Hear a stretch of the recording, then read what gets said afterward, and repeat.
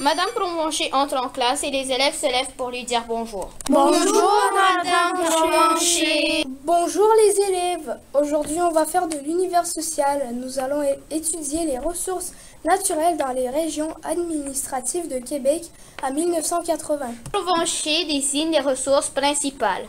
Maintenant, sortez vos cahiers en temps et lieu à la page 23 et répondez aux questions 5 et 6. Les élèves se lèvent et prennent tous en temps et lieu et font leurs recherches. Nous avons visionné un documentaire sur les morues. Mais pourquoi? Pour approfondir nos connaissances à propos des ressources naturelles au Québec. En le regardant, nous avons appris que plusieurs personnes vivaient de la pêche à la morue en Gaspésie en 1939. Après les avoir pêchés, ils prenaient les bonnes parties puis les faisaient sécher. Finalement, ils les vendaient dans des commerces pour faire de l'argent. C'était le métier de pêcheur de morue en 1939.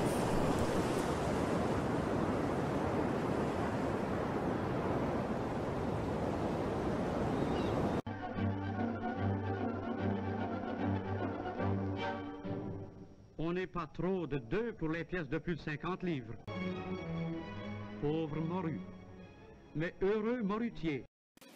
La morue d'Atlantique. Une morue d'Atlantique mesure 40 à 50 cm au bout de 4 à 5 ans. En 8 à 12 ans, une morue mesure 50 à 90 cm. Elle tolère des températures comprises entre 0 à 19 degrés. En moyenne, une morue d'Atlantique présente 2 et 5 kg. On les retrouve principalement au bonnet flamand, sur les bancs de Terre-Neuve, dans le golfe du Saint-Laurent, dans la plateforme de la Nouvelle-Écosse, dans le golfe du Maine et au sud du cap Elteforal. Ils vivent dans les eaux froides. La morue a toujours occupé une place d'importance dans les marchés d'alimentation et la gastronomie d'Atlantique du Nord. La surpêche et la pêche intensive faite par différentes nations sur plusieurs décennies est sans doute la cause principale de son déclin et de son statut d'espèce menacée. Exploitée depuis cinq siècles, la morue de l'Atlantique a nourri des générations. Les géantes morues de 100 kg ont disparu. La situation paraît même irréversible pour certains stocks. Malgré l'adoption d'un moratoire en 1992, les populations de bons canadiens de Terre-Neuve continuent de décliner.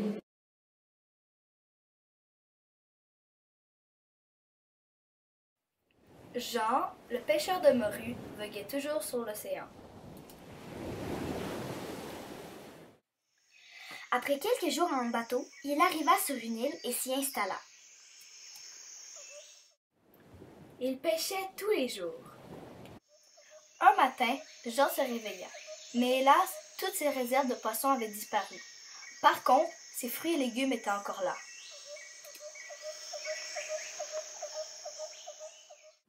Alors, Jean alla pêcher. À la fin de la journée, il revint avec des tonnes de poissons. Cette fois-ci, avant d'aller dormir, il mit les poissons dans une boîte d'écorce. Le lendemain, la boîte n'y était plus. Un jour, une énorme tempête est venue tout saccager. Ce jour-là, Jean comprit que si ces poissons disparaissaient mystérieusement, ce n'était pas une bête. La tempête, elle, n'était pas seulement le hasard de la météo. C'était Dame Nature de l'océan qui le punissait d'y enlever ses habitants.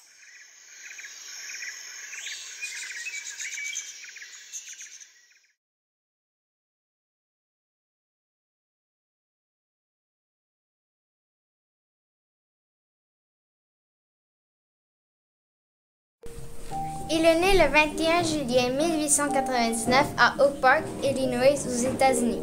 Après avoir reçu son diplôme en 1917, il devient journaliste. Il a marié Ellie Richardson et s'installe avec elle à Paris. En 1926, il a publié son premier roman, Le Soleil se lève aussi. Et son deuxième, L'adieu aux armes, parle de la Première Guerre mondiale, sorti en 1929. Aussi, il a publié Le vieil homme et la mer en 1952. Malheureusement, le 2 juillet 1961, Ernest Hemingway s'est suicidé à l'aide d'une arme à feu.